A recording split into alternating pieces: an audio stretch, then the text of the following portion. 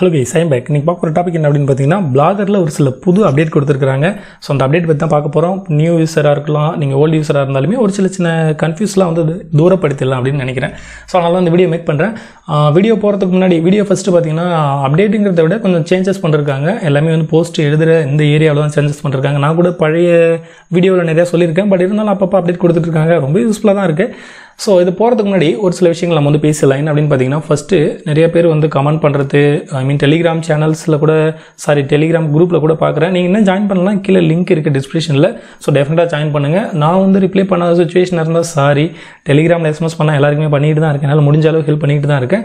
So நிறைய பேர் help பண்ணுவாங்க. குரூப்பில் ஜாயின் பண்ணுங்கள் இன்னும் க்ரோத் பண்ணுங்கள் உங்களோட ஃபீல்டை இப்போ பார்க்க போனால் எல்லாருமே வந்து சொல்கிறது என்னென்னா அதிகமாக வெப்சைட் வந்து ரே ரேங்க் ஆகிறது அதுக்கப்புறம்னாலுமே ஷோ ஆகலை இண்டெக்ஸ் ஆகலை அப்படின்னு சொல்லிட்டு நான் எல்லா வீடியோவும் சர்ச் கன்சோலுக்கான வீடியோ எல்லாத்தையுமே ஒரு பிளேலிஸ்ட்டாக மேக் பண்ணிருக்கேன் என்னோட சேனல்ஸில் சொல்லாது. அந்த பிளேலிஸ்ட்டை போய் சர்ச் பண்ணி பாருங்கள் டெஃபினட்டாக உங்களுக்கு ஹெல்ப்பாக இருக்கும். என்ன ஒரு விஷயம் என்னன்னா அந்த வீடியோ நான் மேக் பண்ணும்போது டெமோக்காக ஒரு சில நான் இண்டெக்ஸ் ஆகாத ஒரு சில போஸ்ட்லாம் நம்ம வந்து வீடியோ மேக் பண்ணும்போது டுட்டோரியலுக்காக காட்டினேன் இல்லையா? ஸோ அது எல்லாமே பார்த்தீங்கன்னா இண்டெக்ஸ் ஆகிட்டு இருக்கு எனக்கு. நான் வீடியோ டெமோ பண்ணும்போது பண்ணதே எனக்கு பாருங்கள் கூகுள்லேருந்து அலார்ட்ஸ் வந்திருக்கு பாருங்கள் இதெல்லாம் கிட்டத்தட்ட பார்த்தீங்கன்னா இதெல்லாம் எழுதியே ஒரு வருஷம் ஆச்சு. இது நியூஸ் ஒரு சில நியூஸ் போட்டதால் அது வந்து வாட்ஸ்அப்பை மட்டுமே டார்கெட் பண்ணேன் இது வந்து கூகுளில் ஷோ ஆகணும் அப்படின்னு நான் வந்து நினைக்கல. பட் இப்போ வந்து உங்களுக்கு இண்டெக்ஸ் ஆகிறது எப்படின்னு சொல்லி காட்டணும். இதாக நான் மேக் பண்ண டுட்டோரியலுக்காக திரும்ப நான் கொடுக்கும்போது எல்லாமே இண்டெக்ஸ் ஆகிடுச்சு ஒன் பை ஒன்னாக இண்டெக்ஸ் அது கூகுள்லேருந்து அலர்ட் மெசேஜ் வந்துட்டு இருக்கு. இந்த அலர்ட் எப்படி கிரியேட் பண்ணணும் அப்படின்னு சொல்லிட்டு டெஃபினட்டாக நெக்ஸ்ட் ஒரு வீடியோவில் சொல்கிறேன் இப்போ ரீசெண்டாக கூட பார்த்தீங்கன்னா இப்போ பாருங்கள் பிளாகிங் வந்து ஐடியான்னு சொல்லிட்டு சைனீஸ் ஆப்ஸ் இந்தியன் ஆல்டர்னேட்டிவ் அப்படின்னு சொன்னால் இப்போ ரீசெண்டாக ஒரு போஸ்ட் எதுனா how to add Blogger slide show இந்த போஸ்ட்டை காட்டுறோம் பாருங்களா ஸோ இதே பாருங்கள் பிளாகிங் ஐடியா அடுத்து பார்த்தீங்கன்னா சைனீஸ் ஸோ இது கிடையாது இதே இருக்குது பாருங்கள் மேலே.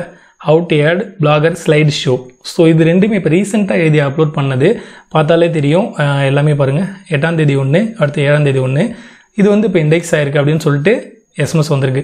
ஸோ ஃபாலோ பண்ணுங்கள் ப்ளேலிஸ்ட்டு ஸோ அதிகமாக பேச வேணாம். அடுத்து வந்து இன்னும் ஒரு விஷயம் கூட சொல்லணும்னா பிளாகர் வந்து ரொம்பவே மோசம். ஸோ என் ரேங்கிங் ரொம்ப கஷ்டம். அப்படிங்கிற மாதிரி ஒரு சில விஷயங்கள்லாம் இருக்குது ஆட்சன்ஸில் அப்ரூவல் வாங்கினாலுமே வந்து அப்ரூவல் வாங்கினவங்களுக்கு அதிகமாக ரெவன்யூ ஆகிறதுல இந்த மாதிரி நிறைய கம்ப்ளைண்ட் இருக்குது நான் இன்னொரு விஷயம் உங்கள்கிட்ட நல்லா டீப்பாக சொல்லிக்கிறேன். வேர்ட் பஸை விட பிளாகர் எவ்வளோ பெஸ்ட் என்னோட எக்ஸ்பீரியன்ஸில் சொல்லுவேன். ரேங்கிங்கில் இருந்தாலும் சரி ரிவென்யூவாக இருந்தாலும் க்ரோத் ஆகிறதையாக இருந்தாலுமே ஃப்ரீ டொமைன் நீங்கள் வந்து யூஸ் பண்ணுங்கள் ஃப்ரீ டொமைன்லேயும் உங்களுக்கு ஆட்சன்ஸ் அப்ரூவல் கிடைக்கும். நான் வந்து ரெக்கமெண்ட் பண்ணுறது டாட் காம் டாட் இன்னு தான். அப்படி இருந்தாலுமே நான் ஏன் ரெக்கமெண்ட் பண்ணுறேன் அப்படின்னு பார்த்தீங்கன்னா வேர்ல்டு வைடு நீங்கள் வந்து டிராஃபிக் அச்சீவ் பண்ண அப்படின்னு நினச்சிங்கன்னா டாட் காம் பெஸ்ட்டாக இருக்கும். நீங்கள் வந்து டாட் இன் வாங்கினா இந்தியா மட்டும் டார்கெட் பண்ணுற மாதிரி. ஆனால் வேர்ல்டில் மற்ற ஏரியாவிலேருந்து டிராஃபிக் வராதா அப்படின்னு கிடையாது. ஃப்ரீ டொமைன் நீங்கள் வந்து எது வேணாலும் வாங்கலாம். எக்ஸ்ஒய்செட் எது வேணாலும் வாங்கலாம். ஆனால் டிபெண்ட் என்ன பண்ணுன்னா உங்களோட ஒர்க்கிங் இப்போ வந்து எல்லாமே ஃப்ரீயாக கிடச்சிட்டா மோஸ்ட்லி நிறைய பேர் வந்து கரெக்டாக ஒர்க் பண்ணுறது இல்லை அதேமாதிரி நீங்கள் வேர்ட் பஸ் வாங்கணும்னு நினச்சி வாங்கினாலுமே எவ்வளோ தான் நீங்கள் வந்து காசு அதாவது காசு கொடுத்து நீங்கள் ஹோஸ்டிங் வாங்கினாலும் நம்மளோட பிளாகர் ஹோஸ்டிங்கை அடிச்சிக்கவே முடியாது. என்ன எப்படி சொல்கிறேன்னு நினைக்கிறீங்களா? ஸோ மில்லியன் கணக்கில் டிராஃபிக் வந்தாலும் மேனேஜ் பண்ணும். ஸோ டாப்பிக்கே போல் நிறையா பேசிட்டோம். எனிவேஸ் டாபிக் போகலாம் இது ஒரு சிம்பிள் டாபிக் தான். அதுக்கு முன்னாடி பார்த்தீங்கன்னா இந்த ஹெச்டிஎம்எல் போகிறதுக்கு பார்த்தீங்கன்னா இந்த இடத்துல ஆப்ஷன் வச்சுருப்பாங்க. ஆனால் இப்போ வந்து இங்கே மாற்றிட்டாங்க லெஃப்ட் சைடில் இது ஒரு மெயின் விஷயம். பாருங்கள் ஹச்டிஎம்எல் வியூ போனீங்கன்னா அங்கே லெஃப்ட் சைடில் மாற்றணும் இது ஒரு சின்ன விஷயந்தான் அதுக்கப்புறம் பார்த்தீங்கன்னா மெயின் இன்னொன்று என்னென்னா ஸ்டார்டிங்கில் இருந்த மாதிரி. ஹெட்டிங் பார்த்தீங்கன்னா heading one heading two heading three heading four அந்த மாதிரி கொடுத்துருந்தாங்க. இப்போ பாருங்கள் major heading heading sub heading minor heading normal இது எல்லாமே மெயின் ஸோ ஓகேவா இது இப்போ சேஞ்ச் பண்ணியிருக்காங்க. இதெல்லாம் வந்து எப்படி கொடுக்கணும் அப்படின்னு பார்த்தீங்கன்னா இப்போ இந்த ஒரு போஸ்ட் இருக்குது அப்படின்னா இது வந்து மேஜர் ஹெட்டிங் ஃபஸ்ட்டு ஹெட்டிங் வந்து கொடுத்துணும் அடுத்து ஹெட்டிங் கொடுக்கலாம். சப் ஹெட்டிங்னா என்னென்னா இப்போ புரியுற மாதிரி சொல்லணும்னா இப்போ ஒரு மொபைலை பற்றி நம்ம ஒரு போஸ்ட் எழுதுகிறோம் ஓகேவா ஒரு மொபைல் பற்றி எழுதுறோம்னா இப்போ விவோ வி நைன் அப்படின்னு எழுதுறோம்னா அது வந்து மெயின் ஹெட்டிங்காக கொடுத்துட்றோம் ஸோ மேஜர் ஹெட்டிங் கொடுக்குறோம். அடுத்து பார்த்தீங்கன்னா விவோ வி நைனோட ஃபெசிலிட்டி ஓகேவா அப்படிங்கும்போது ஹெட்டிங் செகண்ட் ஆப்ஷன் ஒரு ஒரு ஹெட்டிங்க்கு கீழே maximum two hundred to two fifty அதாவது இரநூறுலேருந்து ஒரு முந்நூறுக்குள்ளே வேர்டு இருக்கிற மாதிரி பார்த்துக்குங்க. எல்லாமே வந்து பார்த்தீங்கன்னா ஒன் அண்ட் ஆஃப்லேருந்து ஒரு ரெண்டு லைனுக்கு மேலே இருக்க வேண்டாம். நான் எப்படி எழுதியிருக்கேன் பாருங்கள் இது வந்து ரீடிங் அதிகமாகும். அதாவது ரீடிங் ஸ்பீடு இன்க்ரீஸ் ஆகும். படிக்கிறவங்களுக்கு ரொம்ப ஈஸியாக இருக்கும். பில்லர் கண்டென்ட் எழுதலாம். பில்லர் கண்டென்ட்னா பெரிய பெரிய பேராகிராஃப் எழுதலாம். பட் அது வந்து பார்த்தீங்கன்னா அதுக்குன்னு சம் போஸ்டர்ஸ் இருக்குது அந்த மாதிரி விஷயத்துக்கு மட்டும் தான் பில்லர் கண்டென்ட் எழுத முடியும். ஸோ அதை கொடுத்துடலான்னு வச்சுங்க ஹெட்டிங் முடிஞ்சுங்களா? அடுத்து சப் ஹெட்டிங் என்ன பண்ணணும்னா இப்போ கேமராவோட ஃபெசிலிட்டி கொடுக்குறோம் இல்லையா? அது வந்து அடிஷ்னல் சப் ஹெட்டிங் இது எல்லாத்தையும் கொடுக்குறோம். மைனர் ஹெட்டிங் வந்து லாஸ்ட்டாக உங்களோட ஒப்பீனியன் நீங்கள் என்ன சொல்கிறீங்க அந்த மாதிரி விஷயங்கள் மைனர் ஹெட்டிங் இப்போ நான் வந்து ஜஸ்ட் வந்து பார்த்தீங்கன்னா ஒரு மொபைல் பற்றி ரிவ்யூக்காக நான் கொடுத்தேன். நார்மல்ங்கிறது நார்மல் தான் ஓகேவா அது ஒன்றும் பெரிய விஷயம் கிடையாது.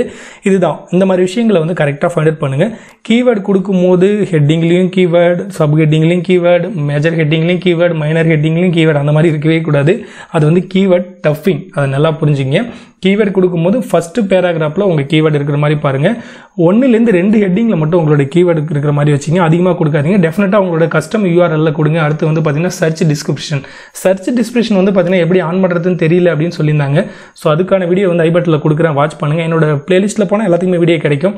ஸோ எனிவேஸ் இதை எல்லாத்தையும் ஃபாலோ பண்ணுங்கள் அடுத்தது வந்து நம்ம வந்து சின்ன சின்ன ஆப்ஷன்ஸ் நிறையா மாற்றிருக்கிறாங்க இந்த இமேஜஸ் வந்து பார்த்தீங்கன்னா இமேஜஸ் அப்லோட் பண்ண போனோம்னா அதுக்கு முன்னாடி வேறு மாதிரி ஓப்பன் ஆகும். இப்போ வேறு மாதிரி ஓப்பன் ஆகுது. ஸோ எப்பயுமே வந்து பார்த்தீங்கன்னா கூகுளை பற்றி நம்ம சந்தேகமே பட வேண்டாம். நம்மளோட ஒர்க்கு தான். எல்லாமே ஃப்ரீயாக கிடச்சிச்சு அப்படிங்கிறதால நம்ம பத்து நாள் ஒர்க் பண்ணோம் அதுக்கப்புறம் ஒர்க் பண்ணல அப்படின்னா ஒரு வெப்சைட் எப்போ நமக்கு வந்து கிடைக்கும்? எப்போ ரேங்க் ஆகும்? அந்த மாதிரி விஷயங்களை நீங்கள் கேட்டிங்கன்னா டெஃபினட்டாக உங்களோட ஒர்க்கிங் தான். நீங்கள் இப்போ வந்து ஆட்சன்ஸ் அப்ரூவல் கிடைக்கணும். ஆட்சன்ஸ் அப்ரூவல் என்னை பொறுத்த வரைக்கும் ஆட்சன்ஸ்லாம் ஒரு மாதத்தில் அப்ரூவல் வாங்கிடலாங்க. அது ஒரு பெரிய விஷயமே கிடையாது. ஒன்று வெரி சிம்பிள் ஆட்சன்ஸ் என்ன கேட்டால் கரெக்டாக ப்ரைவேசி பாலிசி எல்லாமே மேக் பண்ணிவிட்டு தேர்ட் பார்ட்டி இதுவோ மூணாவது ஆட்சன்ஸ் நீங்கள் ஃபாலோ பண்ணாமல் ஃப்ரீயாக கரெக்டாக ஒர்க்கில் ஃபோக்கஸ் பண்ணுங்கள் ஒரு இருபது போஸ்ட் எழுதுங்க இருபது போஸ்ட்டுக்கு ஒரு மாதம் டைம் எடுத்துங்க. நான் எல்லா வீடியோவிலும் சொல்லியிருக்கேன். அதே மாதிரி ஒரு ஒரு போஸ்ட் மேக்ஸிமம் ஒரு எட்நூறுலேருந்து ஒரு ஆயிரத்துக்குள்ளே அந்த மாதிரி வேர்டு இருக்கிற மாதிரி எழுதுங்க. ப்ராப்பராக எழுதுங்க. ஏற்கனவே கண்டென்ட் இருக்கிற கண்டென்ட் அப்படியே எழுதாதீங்க. கொஞ்சம் எக்ஸ்ட்ரா இன்ஃபர்மேஷன் கொடுங்க. இதெல்லாம் ரெடியாக பண்ணிவிட்டு ஆட்சன்ஸ்க்கு அப்ளை பண்ணுங்கள் டெஃபினட்டாக கொடுப்பாங்க.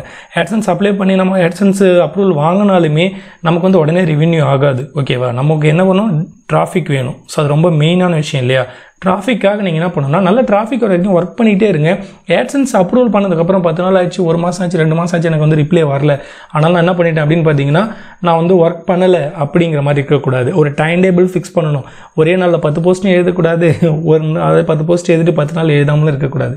ஓகேவா ரெண்டு நாளைக்கு ஒரு போஸ்ட் மூணு நாளைக்கு ஒரு போஸ்ட் அதுவும் டெஃபினட்டாக ஏட்சன்ஸ் அப்ளை பண்ணதுக்கப்புறம் உங்களோட தீம்ஸை சேஞ்ச் பண்ணுறது உங்களோட ப்ரைவசி பாலிசியை சேஞ்ச் பண்ணுறது உங்களோட போஸ்ட் எழுதாமல் அப்படியே விட்டுறது. இந்த மாதிரி மிஸ்டேக்ஸ் மட்டும் தயவு செஞ்சு பண்ணாதீங்க. எல்லாத்தோட ஒரு பெரிய மிஸ்டேக்ஸ் என்னென்னா ரொம்ப நாளாக ஆட்சன்ஸ் அப்ரூவல் கிடைக்கலன்னா அந்த பிளாகை டெலீட் பண்ணுறது அதுதான் இருக்கிறதுலே பெரிய மிஸ்டேக்ஸ் அந்த மாதிரி எதுவும் பண்ணாதீங்க. என்ன மிஸ்டேக்ஸ் இருந்தாலும் ஆட்சன்ஸில் நமக்கு டேரெக்டாக மென்ஷன் பண்ண மாட்டாங்க. Valuable inventory no content menu menu bar error இந்த மாதிரி ஒரு சில சின்ன சின்ன விஷயங்கள் நமக்கு தெரியும். ஆனால் பாலிசியை ஃபுல்லாக ரீட் பண்ணுங்கள் அதையும் மீறி உங்களுக்கு ஏதாவது அதிகமாக வந்து தெரியல. என்ன எரர்னே தெரியல இஷ்யூஸ் இருக்குதுன்னு தெரியலன்னா டெலிகிராம் குரூப்பில் ஜாயின் பண்ணுங்கள் எஸ்எம்எஸ் பண்ணுங்கள் குரூப் அட்மின் நான் தான் எனக்கு எஸ்எம்எஸ் பண்ணுங்கள் டெஃபினட்டாக எனக்கு டைம் இருக்கும்போது உங்களுக்கு ரிப்ளை பண்ணுறேன் தேங்க்யூ